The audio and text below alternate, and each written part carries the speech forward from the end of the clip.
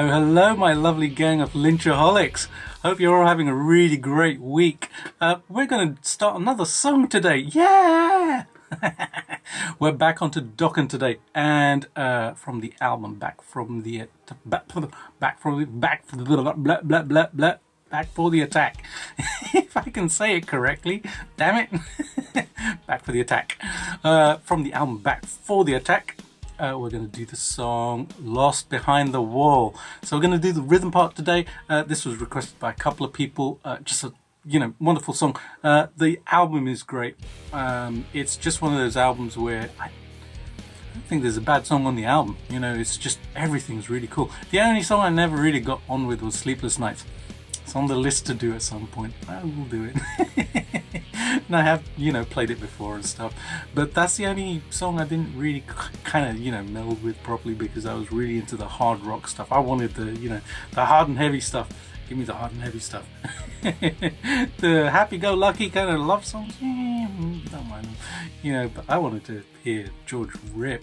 you know, I wanted to hear him do the, the heavier stuff. So, you know, my favourite songs were things like Kiss of Death and obviously Mr. Scary and Cry of the Gypsy and stuff like that.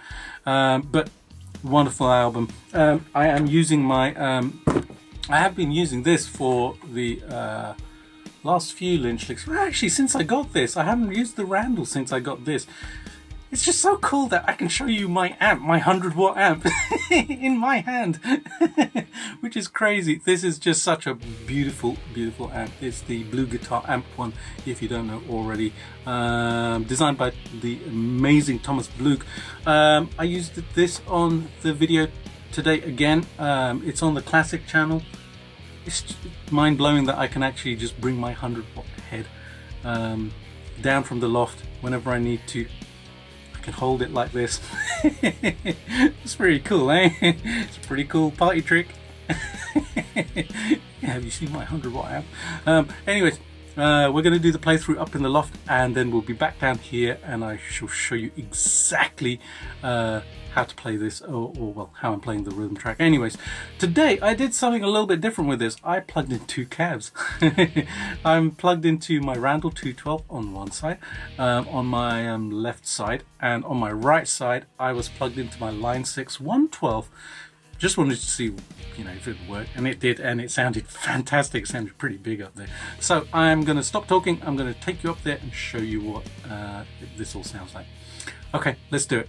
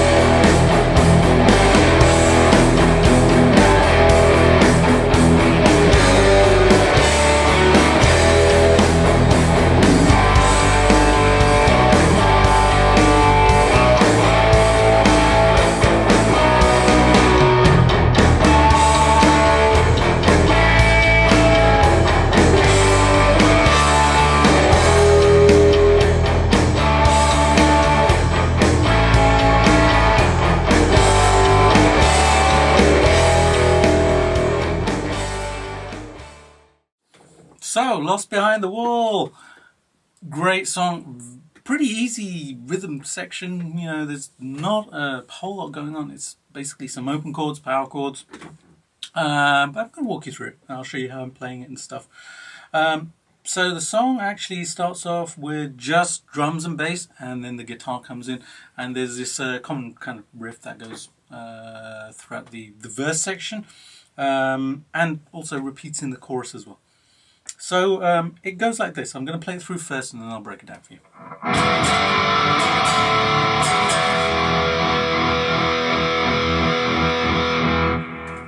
Alright, so what I'm doing there is um, I'm starting off on the uh, E power chord, um, so the open low E string and the second fret of the A string and the D string.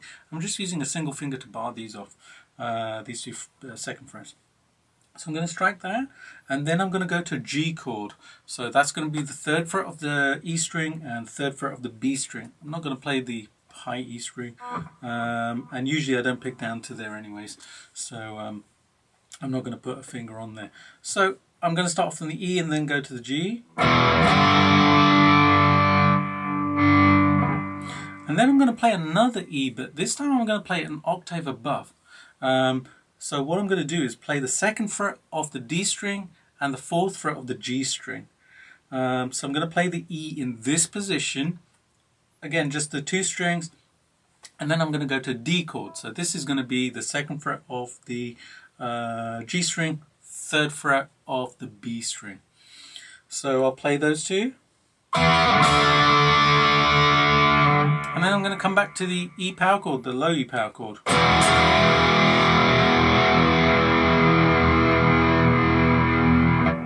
and that's going to form the basis of the, this rhythm part, which is so cool. and it's so easy.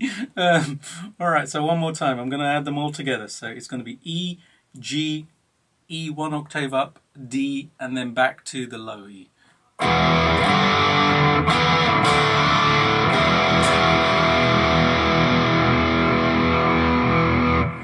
And this repeats basically, this repeats a couple of times. Um, and then um, basically George picks it up and he plays this.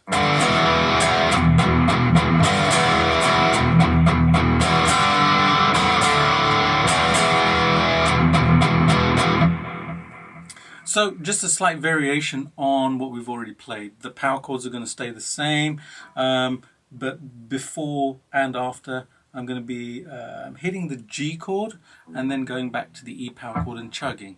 So just like this. And it's literally just going to be that between it.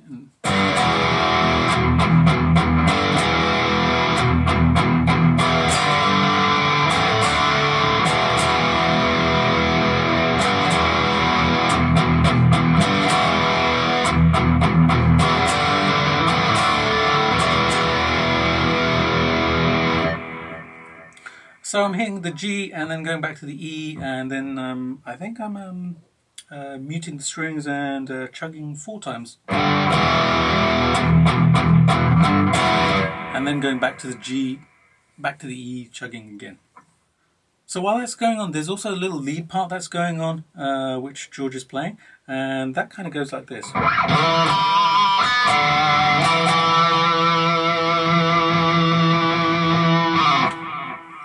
So again, really, really simple stuff.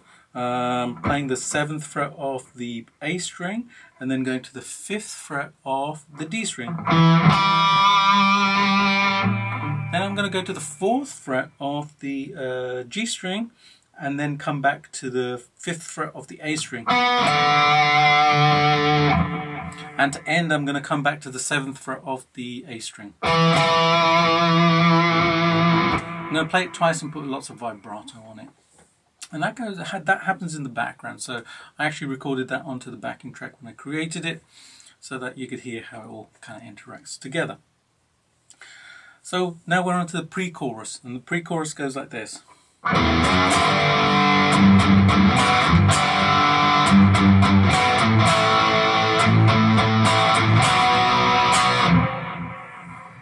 So what I'm doing is I'm um, coming to the G chord, uh, but in order to get here, what I'm doing is I'm, I'm doing the 0 and 2 on the E string, I'm going to put palm mute on there, and then do the G chord. And um, I'm chugging after that. So I'm doing three chugs um, along with it. So I'll do the G chord, three. And then what I'm going to do is come to the second fret of the A string. I'm just going to play this single note. Now, when you see me do the playthrough, you'll see me just doing this and keeping my, my third finger on the um, third fret of the uh, B string. I'm not actually playing down to the B string. I'm literally just picking the second fret of the A string. Um, and the only reason I'm doing this is so that I can get back to the G chord really quickly. So I'm going to do the G and then go to second fret, come back to G, do the chugs again.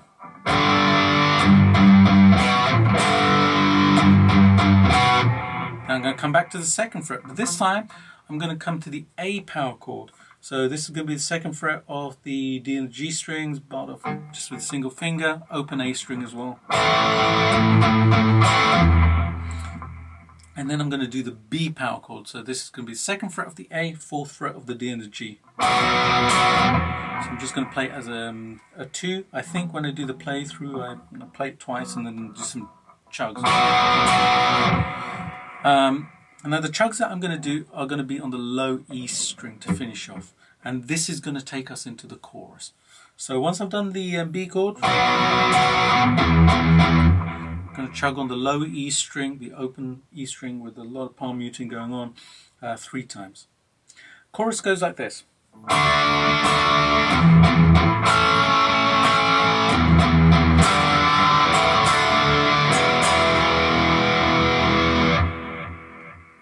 So the chords you already know, um, it's exactly the same as I've shown you previously. Um, before I do the chords, I'm going to do this little, little, um, uh, little section.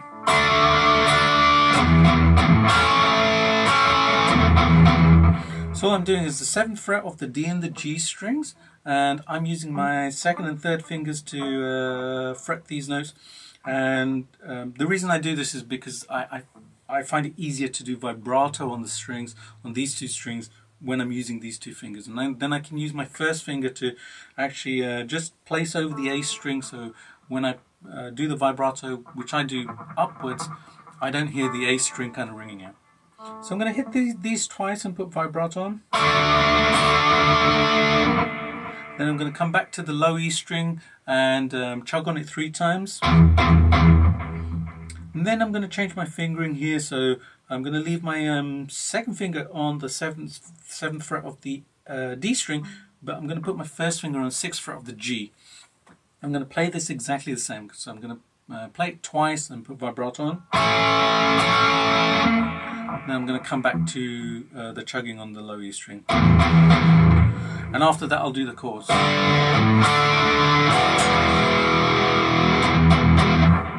And then I'll repeat.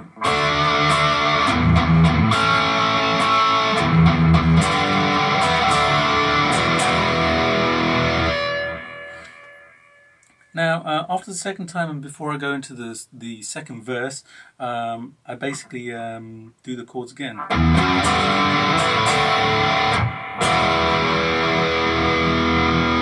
And I let that ring out. Uh, when I did the playthrough, when you saw the playthrough, um, during the second verse I did something slightly different and um, there are two guitar parts which are going on um, during the second verse. Chords as usual which you know. But there's also this part which goes like this.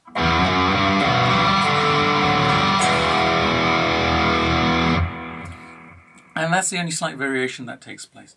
So what I'm doing there is on the low E string, I'm doing 0, 2, and then I'm uh, arpeggiating um, the G chord. Um, so um, I'm going to be playing the third fret of the E string, the second fret of the A string, and the open G string. So I'm going to play um, so that everything is ringing out. I'm not going to play the individual notes. I'm going to leave them all open.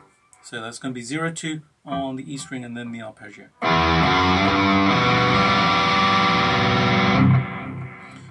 Then I'm going to move this shape um, over to the fifth fret of the A string. So this time I'm going to play the fifth fret of the A, uh, the uh, fourth fret of the D, and the open G.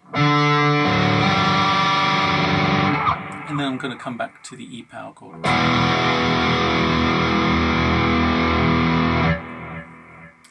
And this is basically the substitute for playing the the uh, this section.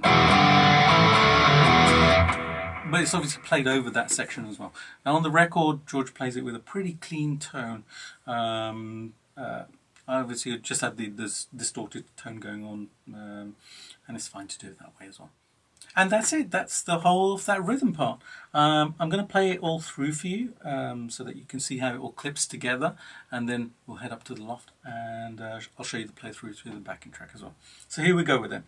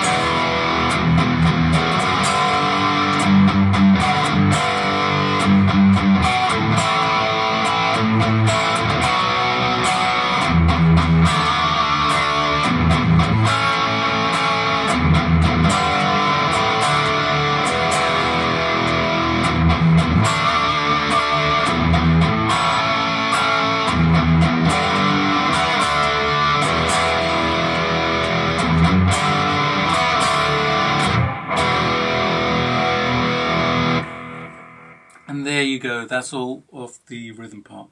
Alright, let's head back up to the loft and I'll show you to the backing track. And with lots of volume and two cabs behind me. Yay!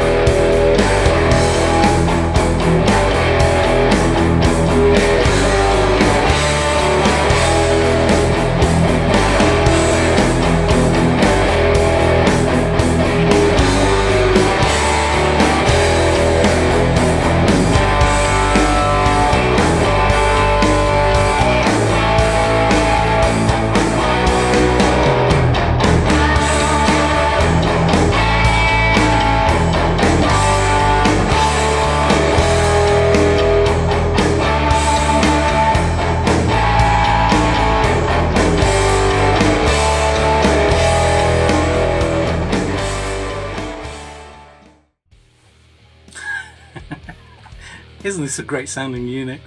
It sounds so good. It's a 100 watt head. I can't believe I'm holding it in my hands. It's just, you know, wonderful piece of technology. Um, I use the classic channel most of the time. Um, for you guys who, who have one of these, the uh, settings I have, classic channel, overdrive is on 8, master is on 8, um, master volume, this master volume, the overall volume is at 2. That's how loud it is.